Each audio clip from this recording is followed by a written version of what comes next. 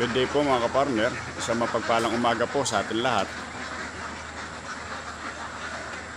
Ang isi-share ko naman po sa inyo ay tungkol sa itsura ng anim na buwan na itik mga kapartner. Yan pong nakikita niyo sa video niya mga kapartner, hindi lamang po natin matutukan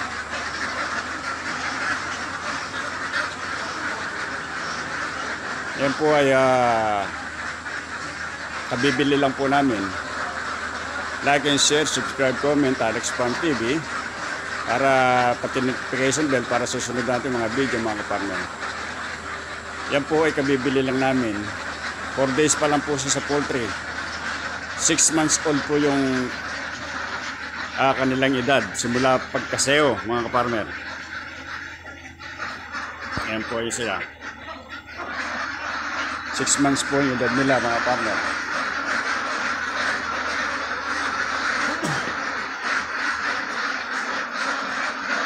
Yan po. Medyo mahila pa po sila dahil galing sila ng ah, ng bukid mga partner.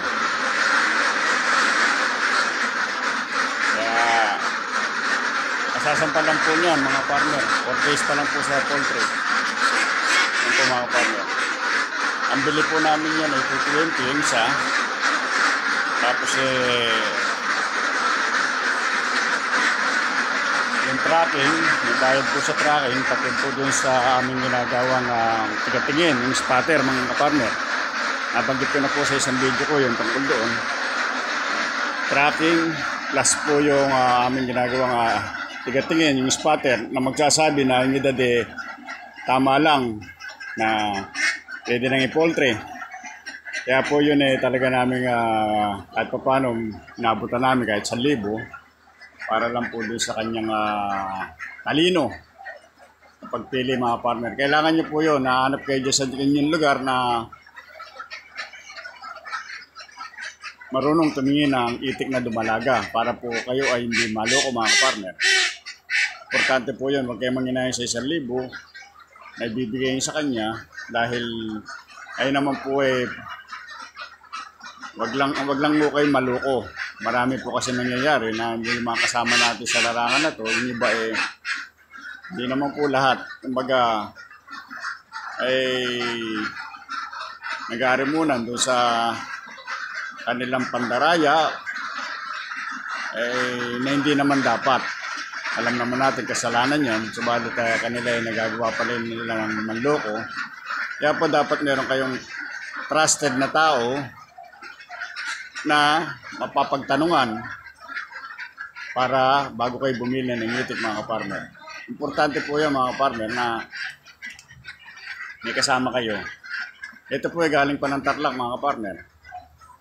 Ayan po, ayan po yung ating uh, poultry. Yan po, yung nakikita yung green na yun, nilagyan po namin ng dati, simento lang po yun. Nilagyan namin ngayon ng net para maiwasan po yung basa rito sa loob ng ulo mga partner. Yan naman po yung automatic feeder. Yung nakikita yung may asul na puno yan mga partner. Like and share, subscribe, comment, Alex Farm TV para sa next natin mga video mga partner.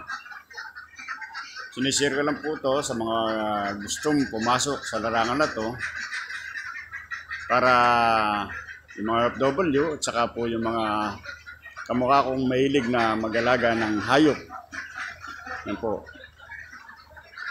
Thanks for watching and God bless po.